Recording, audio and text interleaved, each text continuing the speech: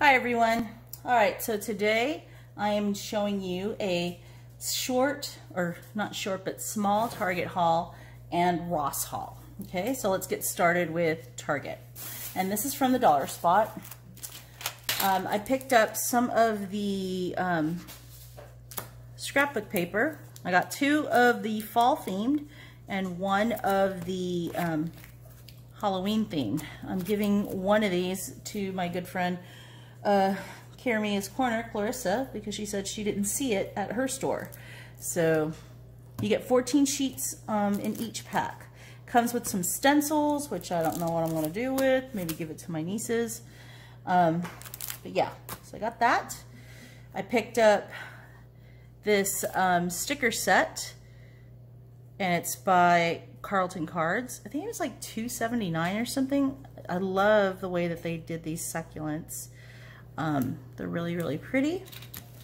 And then from also from the Dollar Spot, I got these pins, um, these buttons. I thought that these are really cute because, you know, they're pandemic related. And since we are right now, you know, living in a um, historical, I guess you could say, moment, I thought these were would be appropriate so we can, you know, I can um, put it with my, um, I do have like an actual coronavirus insert that I've been posting stuff, you know, putting stuff in that's related to it, writing about the whole experience, working through it. Um, when the stay-at-home order was enacted in mid-March, I still had to go to work um, at a clinic. We did a lot of telehealth.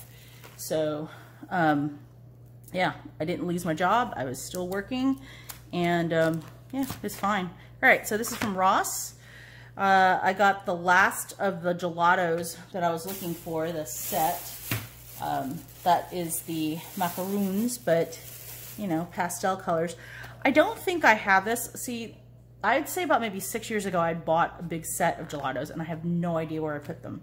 But I don't think I was able to get these colors. I think the ones that I have are all just like...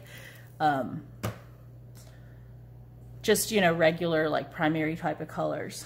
So I also got this. It's, um, I can't find my really, really nice um, Fiskars uh, knife.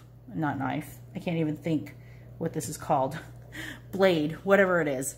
Anyways, um, they had this over at Ross for $2.99. So I thought I might as well go ahead and pick it up to replace the one that I still can't find. So I did buy a shirt, which I'm not going to show you, but that's about it. That's all that I got from um, Ross and Target. Okay, so I hope everyone's having a good week. See you soon. Bye.